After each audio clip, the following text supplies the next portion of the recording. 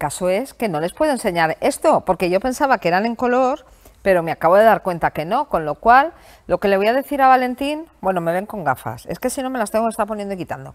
Lo que le voy a decir a Valentín es que me mande las fotos, que creo que me las has mandado por WhatsApp, ¿no? Las fotos. Las del manto. Las de eso. Pero me vas a mandar algunas fotos más, así yo las subo a las redes de Alma Cofrade, ya se me está cayendo el pinganillo otra vez.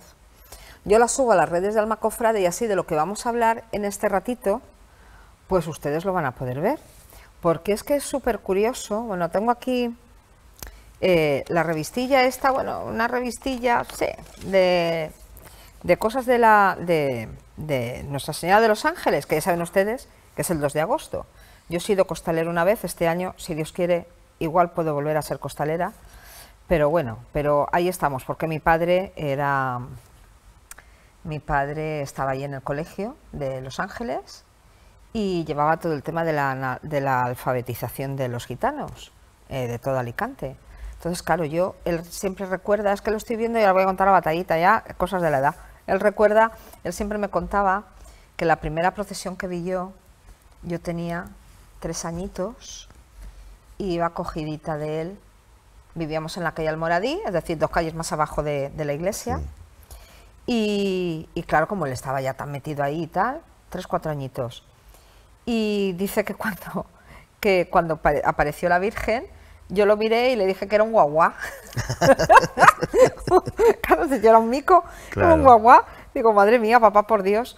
Y que empezó, a- luego, sabes que tiran los fuegos artificiales y tal, y que a mí me dio mucho miedo, bueno, en fin, batallitas de estas de crías de, de, pues eso, tres, cuatro añitos tenía ya. En fin, ya me llevaba mi padre, a ver, ya estaban ahí encaminándome. Bueno, Valentín Ruiz Moreno, artesano, que borda a mano y restaura imágenes. Borda a mano. A mí es que me sigue sorprendiendo mucho, Valentín. Porque lo que más me sorprende es que hay mucha gente que es bordadora, porque es verdad, yo tenemos muy buenos amigos, por ejemplo, eh, Francisco Paredes, que es un bordador de categoría excepcional, muy amigo aquí en la provincia, pero luego hay otro, hay otro tipo de bordadores que utilizan mucho los apliques, compran los apliques y los, y los cosen, evidentemente, a, a las sayas, a los mantos, a lo que sea. Sin embargo, tú eres capaz de hacerlo a mano. Sí, sí, yo los aplico, los, los Por hago eso yo. te digo, es que me deja muy sorprendida. ¿Cómo se hace un aplique? Porque me has dicho, no me preguntes de tal, vale, pero esto sí que te lo puedo preguntar. ¿Cómo se hace un aplique? Me primero, Mi cachis en la mar, teníamos que haber traído aquí. el dibujo. Sí, primero en papel, el que eso lo hemos dibujo visto de, ahí. de un- de una hoja, por ejemplo. Después yo cojo eh, la tela de lienzo. ¿Qué es una tela? de- Es que yo soy una inexperta, la mucha gente de las que nos oyen también. ¿Qué es tela de lienzo? ¿Tela de lienzo es donde pintas? Donde pintas. Vale, bien, ya, ya sé algo más. Entonces se compra la tela de lienzo, primero hay que mojarla para quitarle el almidón. Ah, que lleva almidón la tela, para Sí. que esté para que esté tiesecica, ¿no? Se moja, ¿no? Se No, moja. se para que se le quite. Eso, Para poderla, para poderla poner bien en el esté bastidor. blandita, claro. Ah, vale. Entonces se coge, se engoma y se ¿Se pega, se pega, se pega encima la tela dorada, el tisú o el lamé, lo que vayas a poner, para que a la hora de recortarla no se deshilache. Ah, ¿Y con qué se engoma? Pues con Con- cola blanca, por ejemplo, o almidón. ¿Otra vez almidón? Jolín. Vale, venga, seguimos. Entonces se queda pegada las dos Sí, piezas sí. y al recortarlo con la tijera no se, no se deshilacha Ah, los bordecicos, que es lo Claro. que se deshilacha. y queda ya, queda más tiesa, queda como un cartón. Sí. Ah, Entonces ahí se, se recorta la, la flor o la hoja, se vuelve a poner en otro bastidor para ponerle las, las lentejuelas, los nervios. ¿Qué es un nervio? La, lo que, el- los canutillos esos que hay por en medio, ¿no? Sí. Vale, digamos así. Ah, El nervio de la hoja. Que- lo que ah, va claro, el lo nervio va de la hoja, medio. claro, lo que va el en el medio de- medio, el nervio de cada hoja. Madre mía, qué locura. Se hace con cordón y después hay que volver a recortar la pieza para pasarla al, al Madre de. Dios Lleva como bendito. 6, 7 capas de tela un, No un me manto de estos, sí. Lo que no pensaba yo es que el aplique tenía tanta faena. Sí, claro. Madre mía. Es que si coges una, una tela cualquiera de estas doradas y la, y la- la vas a recortar, Claro, eso se queda un moco. está eso es blando moco. y se salen todos los hilos. Entonces al estar engomado Ajá. no, no se sale nada. Escúchame, ¿Y cómo? Y luego los ribetitos de, de cada aplique, de cada cosita. Eso ¿Eso va también va con canutillo de ese? Sí, ¿Con cordoncillo? Con cordón, va con cordón, todo perfilado. Fíjate. Qué cosa. Ahí hay metros y metros de, de cordón, pues más de Y 300 un dineral, metros. hazme el favor, y un dineral, estoy pensando. Y metros y metros, y tanto, no me extraña. Y yo sigo pensando, ¿cómo te vienen estas cosas en la cabeza? ¿Cómo puedes plasmar en tu cabeza lo que tienes en tu cabeza, plasmarlo ahí para que quede bien y no sea el caos más absoluto que es lo que me pasaría a mí? ¿Cómo es posible, Valentín? Pues la verdad que no lo sé yo Jolín, tampoco. hijo, yo pues yo empiezo, saberlo. empiezo, empiezo y hasta aquí ya está. Ya, hasta donde llegue, ¿no? Hasta ¿O donde eh? llegue. Pero en algún sitio tendrás que decir, aquí le pongo esta florecilla, mira, por ejemplo, ahí estoy viendo florecilla de un color, florecilla de otro, ahora ya no las veo. Ahí veo, una- son las florecillas. Aquí le pongo eh, los churritos estos que no sé cómo se llaman. Aquí le pongo hojitas, eso tendrá que salir de algún sitio. Sí, voy rellenando. Ay, madre de Dios. bendito. Voy rellenando, hago, hago una, lo que es una, una rama y de ahí saco otras y Mm. otras y otras hasta rellenarlo todo. Pero me has dicho que primero haces el boceto en un papel. Sí, claro. en el papel de tres metros, lo, lo que sea, ¿no? Qué curioso, de verdad. Vale, dice esto. Su vocación artística como bordador y restaurador se expresa hace 20 años gracias a su amistad con el maestro Pepe Espadero.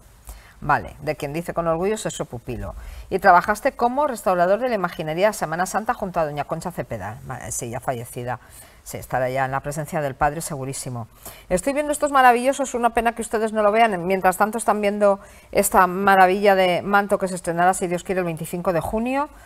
Pero entre sus bordados está aquí el, el- la de la Comisión de Fiestas del Barrio de Los Ángeles. Lo mismo de lo mismo. Pintar no pintas. No. Pintar es de lo poco que no haces. Bueno, el, el sin pecado de es- este, es Este en el concreto- estandarte es de telas. Es de, ah, es de tela. Sí, pero el sin pecado de la Virgen en el centro es un lienzo que lo he pintado yo. Ay, pues me acabas de decir que no, que quedamos. Madre mía, Pero bueno, me puse y lo, y lo hice. hice pinté la, la imagen de la Virgen en el centro del sin pecado. Qué maravilla. Bueno, pues lo que les estaba diciendo, la pena es que no lo verán, lo verán porque ya lo subiré yo a las redes. Es precisamente el estandarte de las fiestas. Ah, el 2 de agosto del 20, eso fue, eso fue, eso fue, eso fue, eso fue en la pandemia. Exactamente.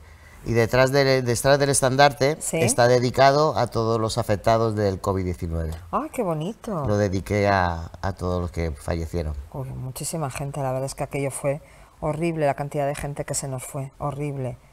Muy bien, eh, de- dice, y los bajos de esta, los bajos de... Ah, claro, también se Los bendijo. bajos del trono de, de la Virgen de los Ángeles ¿También? también los hice yo, sí.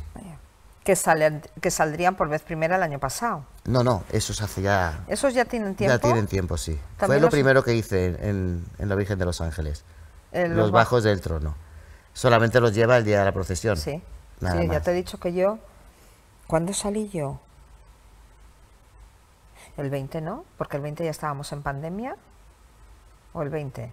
Bueno, el año pasado creo que fue el primer año o el segundo que no salgo, sí. Madre mía, los bajos también del, del trono. Sí, ¿Por qué? ¿Qué pasa? Que los viste y dijiste, no me gusta, voy a hacer algo nuevo. pues fue así. Ay, qué lástima. Pues fue así, porque tenía unos Sí. muy, muy, muy feos ya. Y no estaban bordados, era solo una tira de terciopelo que Sí. cubría alrededor. Y dije, ¿por qué le voy a hacer unos nuevos? Aquí pone el mantón a la Virgen del Pilar, lo que me estabas comentando, que además es una maravilla. Ya, ya- ya les digo que ya lo verán, que se encuentra en la concatedral de San Nicolás y un mantón del patrón de Colombia. Pero es que es el patrón de Colombia. Sí, es el Cristo más querido de Colombia, sí. Es conocido en toda Colombia. Pues mira, tengo muchísimos alumnos colombianos y muchos de ellos nos ven. ¿Y esta vocación es por, por el Cristo este de Colombia? Pues porque yo la primera vez que fui a Colombia, he ido dos veces. ¿Has ido dos veces a Sí. Colombia? La primera me, me llevaron a verlo y vi tanta devoción que tenían a ese Cristo, la gente, es impresionante la gente que va ahí. Es que la gente cruzando el charco tiene muchísima devoción a sus Sí, sí, imágenes, mucha una fe. religiosidad brutal, Y entonces pues se lo prometí directamente yo al Cristo, me digas. que le iba a hacer, le iba a hacer el, el vestido Es lo que me y estás que- diciendo, y eso es que- como un manto y que me pequeño. diera salud para llevárselo una yo personalmente. Y por eso volví se lo volviste a y- y llevar. se lo llevé. Y se lo pusieron, vamos, contentísimos, Sí, ¿no? Incluso lo que se lo veo. ponen cada 24 de, de septiembre que sale en procesión y procesiona con el, con el mío. Porque este no es de apliques, este sí es, es de hilo de oro punto a punto. Este sí, Este sí. sí. ¿Y en qué te basas en esto? Porque esto sí que es muy distinto a quizá lo que podamos ver por aquí, Valentín, ¿no? Sí. ¿En qué te basas? Tú lo ves y estoy viendo que la imagen es brutal. Ya les digo, es una pena que no la vean, pero yo les prometo que lo subiremos a Alma Cofrade porque es que vale la pena. ¿Cómo has dicho que se llama? Cristo de los Milagros. El Cristo de los Milagros De de, Buga. de, de Buga. Buga, Buga es el pueblo donde Sí, está. Pues nada, ya saben ustedes, búsquenlo porque yo me estoy quedando sorprendidísima. Es un Cristo muerto ya en la cruz, ¿no? Sí, sí, Por lo que puedo ver. Y además, bueno, lleva... Tiene también una historia el Cristo, porque se supone que el Cristo lo encontraron pequeñito, unas lavanderas en un, en un río, y el Cristo se llevaron a su casa y fue creciendo. Y Esa es la historia de este Cristo. Que fue- Perdón, es que me la- estaban hablando. La talla fue creciendo. Como que la talla ha crecido. Esa es la historia de ese Cristo, que lo encontraron pequeñito, una señora que estaba lavando en un río, que el río pasa por ahí, por, la, por el frente de la basílica. Y, y se lo llevaron a casa y ese Cristo empezó a crecer, a crecer, hasta llegar al tamaño natural. ¿En serio? Esa es la historia de ese Cristo. Ay, miren, lo están viendo, ay, qué bonito. A ver, espérate, yo hago aquí... Ay, qué genial. Eh, este, Ese es. Pues es, ya les digo, es vale la pena, lo subiré porque debe de tener una cara impresionante. Bueno, tenemos una gente, tanto Víctor como Eric, que son magníficos y están ahí haciendo un plano como pueden. Este, este, este, mira, mira, mira. Bueno, y de paso ven ustedes también la Virgen del Pilar, uno de sus mantos. Pero yo me voy a detener en el Cristo de Colombia de Buga porque me llama poderosísimamente la atención. Hay que ver, bueno, ya que estamos, pues está haciendo ahí un pequeño barrido de todas las cositas que hay aquí, ¿ven? El, lo de la comisión de fiel... Ahora yo con mi problema que tengo derechas e izquierdas se me va. Bueno, la cara de Valentín. ya, ya podemos quitarlo. pues Valentín, estaba pensando, cuéntanos un poquito más. Yo estoy otra, otra vez aquí, es que me queda boba con este Cristo. Eh, una saya cortita. Cortita, sí. ¿Por qué? Aquí también las hay. Creo que el ¿Así de cortita? En San Juan Pueblo, ¿Sí? el Cristo lleva también un, ah, pues un ya. faldón. Ah, pues mira. Por- ¿Pero por qué? ¿Es costumbre allí el, el ir así? Él siempre lo lleva, ese Cristo siempre lo lleva. Creo que es el único que lo lleva. Los demás Cristos no. Es- Estoy impresionada, me vas a, me vais a, de verdad me van a perdonar porque es que estoy boba, estoy boba con la cruz que tiene. La cruz es impresionante. Sí, es impresionante. La cruz es impresionante. Que- y las y la, y la corona de espinas. Sí, toda de esmeraldas. Es toda de esmeraldas. porque está, en Colombia, las esmeraldas colombianas son las mejores. y el- es toda la corona que lleva, es toda de esmeraldas. Madre mía. Es impresionante, pero además, ¿de quién es? ¿Sabes de quién es el Cristo? ¿Es la autoría? No. No sabe, ya indagaremos, está haciendo por el pelo, el todo es, bueno, es impresionante. Bueno, ya, ya me he quedado así, el patrón de Colombia en Buga, vamos, ya me, ya, ya me ha dejado boba, ya, ya, ya nos podemos ir Si a ves la otro historia, lado. verás cómo es impresionante lo de la historia Sí, de, sí, no, de que, que- que fue creciendo. Fíjate. ¿Y cómo aparece? ¿Y lo qué hacen? ¿Lo dan a la iglesia? Es que no lo sé qué pasó. Eso, pues, Ay, eso hay que siglos, preguntar, hay que preguntar. Nada, que preguntaremos. siglos. Ya me veo yo esta noche ahí como una tonta buscando por internet. Bueno, el manto de la Virgen del Pilar, desde luego, una maravilla, además con su escudo. Ese es el escudo de El que estabas comentando que han visto antes, que has- han sacado antes gracias a Victoria Eric con la cara de la Santa Faz también. Ese es el morado que se lo ponen para Semana Santa, sí. Claro. ¿Y este es el que tiene puesto en su capilla todo el año? El de, No, no, eso depende de la liturgia.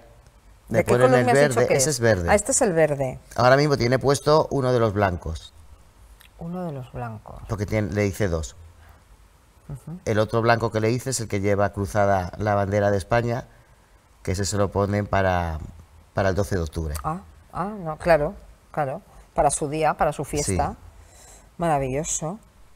Maravilloso. Bueno, pues estaba viendo aquí, bueno, pues esto, seguimos aquí un poquito, decía, entre las obras restauradas se encuentra el Cristo del Mar, la Soledad Marinera, el Divino Amor, un cuadro de las ánimas que está en Gracia, el Cristo del Morenet, tres mantos de la Virgen del Pilar, madre mía, es eh, maravilloso esto, la verdad, Valentín, porque, repito, tenerte tan cerquita y sin embargo no saber eh, pues la cantidad de cosas que haces es me gusta mucho el... toma, todo tuyo.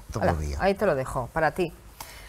Pues cuéntanos también un poquillo, eh, si te parece, estábamos diciendo que no vamos a hablar quizá de técnicas de bordado, porque evidentemente es una cosa que quizás se nos escapa, sobre todo a mí, que yo soy bastante eh, lerda para estas cosas. Pero estabas hablando de tisús, estabas hablando de otro tipo de telas.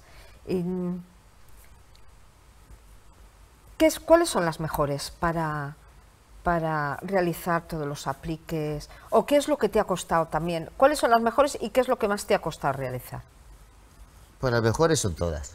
¿Sí? ¿Lo que sea? sí. Todas son buenas, hay unas más caras que otras, pero no por eso son mejores. Hmm. Sí, pero sí, son, sí hay diferencias de precio grandes entre hmm. un tisú y un lamé. Pero no... ¿El lamé sé lo que es? Por las películas. además el lamé tiene una caída muy caída y es así. No sé lo que es el tisú. Me suena, pero no lo tengo en la cabeza. Pues es como, es de seda, tisú de seda y tisú de plata también. ¿Ah, sí? Sí, el vestido de la, de la coronación de la Virgen de Remedio está bordado en una tela de tisú de plata. Es tela de plata bordada con hilos de oro. Fíjate, fíjate. ¿Y eso tiene caída, no tiene caída? ¿Cómo es? Sí, tiene caída también, lo que pasa que claro, con esos bordados como tiene que estar todo almidonado y todo, quedan más tiesos. Ah. Ah, mucho más esto. ¿Y qué es la pieza, cuál es la pieza que más te ha costado? Pues realmente ninguna me cuesta. ¿Ninguna te ha costado más así de, realizar? Porque yo pensaba que me iba a costar más hacer la cara de la Santa Faz hmm. y al final me, resultó muy fácil hacerla.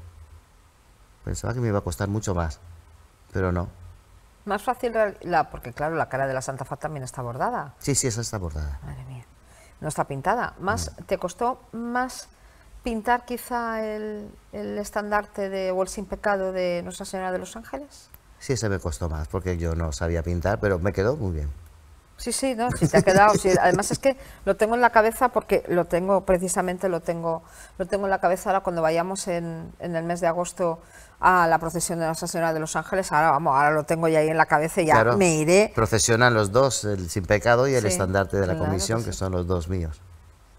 O sea, tenemos eh, te ha costado, te ha costado, no estaba diciendo claro en plan material, sino sí en, y en plan de tiempo, lo que más te ha costado, el manto. El manto, claro por las dimensiones. ¿Y ahora qué tienes en la cabeza? ¿Tienes algo en la cabeza ahora? Sí, tengo algo. Lo que pasa es que no puedo decir nada porque ni lo sabe nadie. No, no evidentemente ni quiero que me lo, no quiero que me digas. Pues tengo esto en la cabeza. Tienes cosas en la cabeza. pero tienes cosas en la cabeza. ¿A qué te dedicas, Valentín? Profesionalmente. Pues trabajo en una cocina. O sea, que trabajas de cocina, cocinero de verdad. Claro. Fíjate. ¿Y tienes tiempo, en serio? Pues mucho no tengo, pero si me acuesto cuando me pongo a bordar, no duermo por la tarde, tengo turno partido, entonces el tiempo que me queda por la tarde me dedico a eso y por las noches hasta las 4 de la mañana he estado cosiendo casi todos, los, todos los días. Madre mía. Dos años, o sea que tienes, tienes ahora cosas en la cabeza, pero no van a ser tan costosas, supongo, como el, el manto de la Virgen. No. De tiempo. No, de tiempo no. Tengo, tengo pensamiento de hacer una, una saya. Y quizá ahora, cuando nos oiga la gente, dirá, oye, mira, pues ya vas a tener alguna cosita más. ¿Dónde te puede localizar la gente si las personas que nos están viendo, a lo mejor alguna hermandad o cofradía, después de ver esas maravillas que hace con esas manos, igual deciden eh, llamarte para ver dónde dónde te pueden localizar, redes sociales, algo? Pues la verdad que yo no utilizo las redes sociales. Madre mía del Señor, este hombre. Si es que antes me lo has dicho y he dicho, no, es posible. Entonces, ¿cómo te localiza la gente? ¿Por el boca a boca? ¿Se vaya al barrio a preguntar por Valentín? Ah, pues seguramente pues el barrio me conocen todos. Pues, hombre, sí, pero vamos, de alguna manera se te podrá localizar. ¿No tienes nada? No. ¿Es todo por el boca a boca? Sí, no tengo... Me veo yendo a Andrés a la, a la tienda de muebles. A la tienda de muebles. Y de paso que vean a ver los muebles que tiene Andrés, que son una pasada los muebles que tiene. No, pero en serio, ¿no se te localiza? ¿No tienes nada, nada, nada, algún tipo de escaparate de, de, que la gente pueda verte y tal? ¿No te interesa? No, ¿Qué te digo yo que este hombre? Si es que este hombre, si es que... Y entonces, es que como yo las- las cosas las hago es por devoción y porque me, un día me levanto y digo, pues mira, es, quiero hacer esto. Entonces lo hago porque yo quiero y a, y a quien yo quiero, por ejemplo. A- ahora tengo una virgen en mente que, que sí, la- lo que estabas diciendo, ¿no? La que quiero hacérselo y se me ha metido por ahí y, y se la haré. Pero no porque nadie me lo pida, es porque me nace de mí. Ya. Bueno, pues nada. Pues me parece perfecto. La verdad es que cada uno decide lo que hace, lo que no, cómo lo hace y cómo quiere hacerlo. ¿Alguna cosa que se nos haya quedado en el tintero, Valentín? ¿Algo que quieras decir? ¿Algo que te apetezca? Ya me has preguntado de todo. Te ¿qué lo he preguntado todo, saber? ya, menos lo de la cocina. Ya te preguntaré luego dónde haces de... dónde- No hemos hablado de la cocina de Cuaresma. Muy mal, muy mal. ¿Qué pasa, que en Cuaresma no cocinas? Sí, cocino, sí. Pues entonces... Pero la gente ya no, casi no come nada de cuaresma. ¿no? La gente hoy en día... Porque yo trabajo en un asador y, y los Bueno, viernes asador santo. menos. Sí, los es- Viernes es- Santos está, igual de gente, ¿no? Sí. Nadie hace es- estas cosas ya. Nosotros tenemos que dar las gracias que por lo menos tenemos lo de las jornadas eh, gastronómicas de Cuaresma, que quieras que no, pues sí que eso sí. Bueno, yo en casa sí que toda la vida, igual que lo hago ahora, el viernes, viernes los viernes de Cuaresma, miércoles de ceniza, Viernes Santo, eso es, mm, vamos, intocable. Pero sí que es verdad que cada vez es menos la gente que... menos. Yo también lo guardo toda la cuaresma. Yo lo guardo yo. Pero yo digo, yo sería el único de Alicante. no, no, no, somos, te puedo asegurar que somos. Somos muchos en mi casa, mi hijo y yo, yo hago que mi hijo lo guarde también. Eh, en mi casa se me enseñó así, vamos, yo creo que es una de Sí, las... igual que yo. No me voy a comer un arroz de marisco que está buenísimo, pero yo creo que la cuaresma tienes que mantener un poquito más eh, determinadas cosas, ¿no? Pero ese ayuno tiene que ser un ayuno no solamente de cuaresma, de, de comer, tiene que ser de comer también y de otras cosas, que eso ya lo hablamos en su día. Pero es verdad que cada vez es más la gente que no lo hace, que no lo practica, ¿no? Porque vosotros estaréis hasta arriba. Sí, sí, sí, sí. Ah, Gente cada vez. Igual que el miércoles de ceniza, desayunar muy flojito, no desayunar, Viernes Santo y tal. Pues nada, Valentina, ha sido un placer. Lo mismo. Ha sido un placer, de verdad. Cuando me lo dijo Andrés, te volvemos a nombrar, Andrés.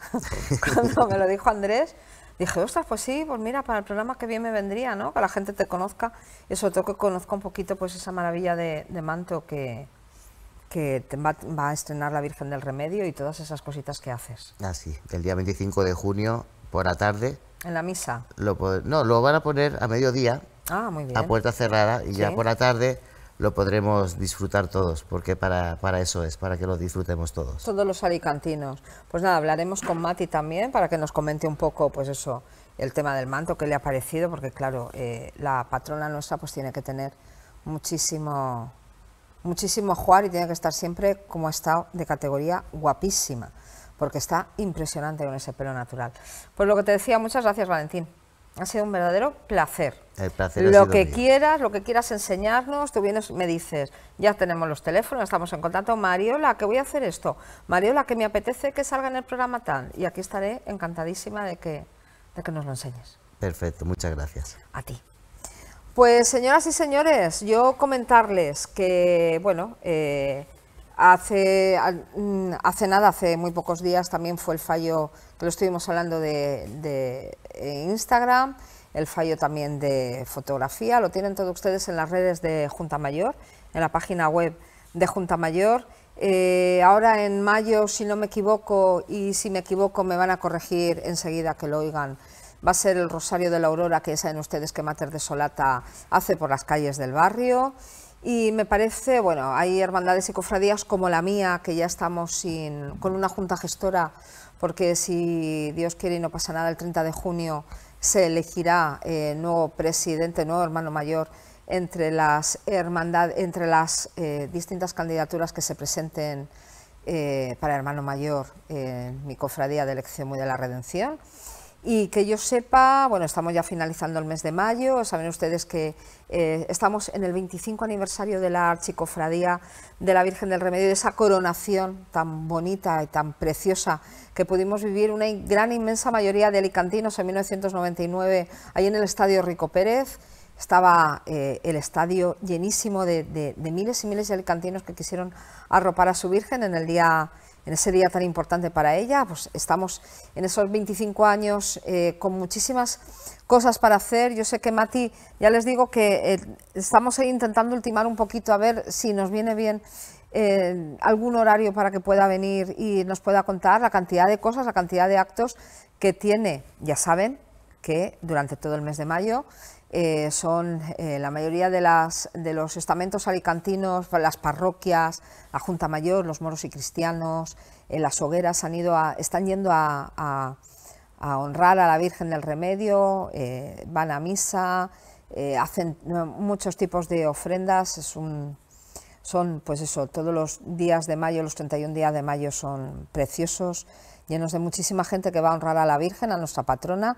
Y bueno, ya les digo, quiero que venga Mati a que nos cuente un poquito pues todo lo que hay, todas las efemérides que hay, como la de Santa Faz, que fue la Virgen del Remedio, que también lo estuvimos viendo hacia Santa Faz, a hombros de sus costaleros, luego fue en, una, en, una, en un remedio móvil, y luego volvió otra vez a entrar a la Plaza de la Santa Faz, como pudieron ver ustedes a través de Alacantí Televisión, a hombros de sus eh, costaleros, con esos grandísimos capataces que tiene también alrededor. Y ya yo creo que poco más que contarle, que el jueves que viene, si Dios quiere, volveremos a estar aquí con todos ustedes, em, intentando ya ir acabando esta temporada de Alma Cofrade. Así que nada, que sean buenos, que sean felices, que por favor, eh, nada, tenemos ahí eh, hay efemérides muy importantes este, este fin de semana. Y, y, bueno, pues nada, pues que lo disfruten, que disfruten estos días. Así que nada, nos vemos si Dios quiere el jueves que viene.